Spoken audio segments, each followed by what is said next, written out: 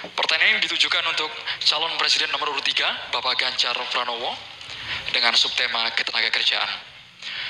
Pekerja migran Indonesia tersebar di banyak negara. Di sana, mereka banyak mengalami masalah, mulai dari masalah hukum, pelecehan, hingga kesehatan mental. Pertanyaannya, bagaimana strategi paslon menjamin keselamatan dan kesejahteraan pekerja migran Indonesia? Waktu Bapak dua menit untuk menjawab dimulai saat Bapak berbicara. Silakan. Terima kasih. Kembali negara hadir dengan segala perangkatnya. Ada duta besar di sana. Apa BP2MI ada juga. Kementerian Tenaga Kerja ada. Pemerintah daerah ada. Kami mau bercerita pengalaman. Karena kemarin kami komunikasi dengan pekerja migran kita dan di Hong Kong. Kita live bersama dan mereka menuntut apa yang menjadi pertanyaan ini. Pak Ganjar, apa pelindungan yang diberikan kepada kami? Inilah panik button, inilah nomor telepon dan kalian kalau ada masalah telepon ke situ. Kalau tidak, maka ini akan kita tarik di pemerintah tertinggi agar kita bisa mengintervensi. Kenapa ini menjadi penting? Masalah-masalah yang mereka hadapi satu, mulai mereka berangkat legalitasnya mesti beres.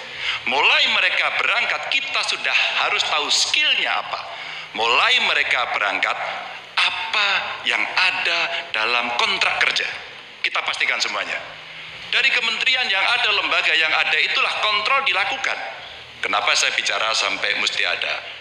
Tempat melapor duta besar yang aktif agar kita bisa melindungi segenap bangsa Indonesia. Dan seluruh tumpah darah warganya di mana pun mesti dilindungi. Dan dari sinilah pengalaman kami kami pernah membebaskan beberapa pekerjaan bermasalah baik di Arab Saudi di Sudan terus kemudian di Kamboja yang mereka terindikasi TPPO maka ketika kemudian melihat seperti ini tindakan tegas adalah dari pemimpin tertinggi pengalaman saya jadi gubernur. Maka yang, yang saya telepon adalah Menlu, yang saya telepon adalah uh, duta besar, dan bagaimana kita beraksi agar kita bisa menyelesaikan persoalan itu. Komitmen ini tidak terlalu sulit. Ketika data benar, instrumen benar, melakukan dengan cara yang benar, maka seluruh persoalan akan cepat diselesaikan. Waktunya habis, Bapak. Sekarang kami berikan kesempatan kepada calon presiden nomor satu Bapak Anies Baswedan untuk Ya, langsung terima menanggapi kasih, Pak dengan Ganjar. waktu satu menit. Meneruskan apa yang tadi disampaikan, saya berjumpa dengan para pekerja migran di Malaysia, ngobrol dengan mereka permasalahannya, datang ke desa pekerja migran di Wonosobo, pasti Pak Ganjar juga tahu. Nah, apa yang saya temukan? Memiliki kewenangan di pemerintahan tidak berarti memiliki pengetahuan tentang permasalahan. Yang dimiliki kewenangan, pengetahuan siapa yang tahu? Justru aktivis-aktivis pekerja migran. Jadi kami melihat harus dilibatkan para aktivis pekerja migran, mereka yang tahu lubang-lubang masalah di dalam melindungi pekerja migran.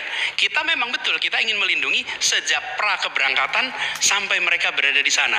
Tapi di tengah itu banyak sekali lika-liku yang ketika kita berada di birokrasi banyak yang tidak diketahui. Karena itu kami melihat libatkan mereka, lalu negara kolaborasi. Kewenangan dimiliki negara, pengetahuan dimiliki oleh para aktivis itu, kita eksekusi, melindungi dan memastikan mereka bisa hidup bekerja dengan tenang di sana. Waktunya habis. Selanjutnya kami berikan kesempatan kepada Bapak Prabowo Subianto, calon presiden nomor urut 2 untuk menanggapi atas jawaban yang disampaikan oleh Bapak Ganjar Pranowo. Waktu Bapak satu menit dimulai saat Bapak berbicara. Saya kok ya harus mengakui juga bahwa saya banyak sependapat dengan dua. Berarti apa ya? Keberpihakan kita kepada kaum pekerja di luar negeri itu sebenarnya sama. Semua benar. Tetapi menurut saya ada berapa eh, kedutaan kita di beberapa negara kewalahan. Masalahnya terlalu banyak. Jadi benar yang disampaikan Pak Anies, aktivis-aktivis ini sangat membantu, sangat membantu untuk untuk mengikuti dan membantu migran, migran pekerja migran kita di mana-mana. Saya pernah pengalaman, saya pernah diberitahu oleh seorang aktivis, seorang perempuan tentang seorang pekerja perempuan di Malaysia yang dua minggu lagi mau digantung. Kalau tidak ada berita dari aktivis perempuan ini, kita tidak bisa bantu dan intervensi. Jadi benar peran aktivis-aktivis sangat penting di bidang eh, pembelaan hak-hak pekerja kita di luar negeri. Mereka adalah pahlawan-pahlawan. Waktunya habis. Terima kasih. Waktunya habis. Mohon tenang hadirin sekalian. Persilakan kepada calon presiden nomor urut 3 Bapak Ganjar Pranowo untuk merespon tanggapan dari capres nomor urut 1 dan juga capres nomor urut 2. Terima Silakan, kasih atas masukannya. Karena udah banyak setuju ya baik-baik saja. Tapi lalu kita mesti memberangkatkan mereka dalam kapasitas secara legalitas dan keterampilan yang baik. Yang berikutnya lagi tentu saja kalau sudah kasus namanya kasus semua bisa terlibat.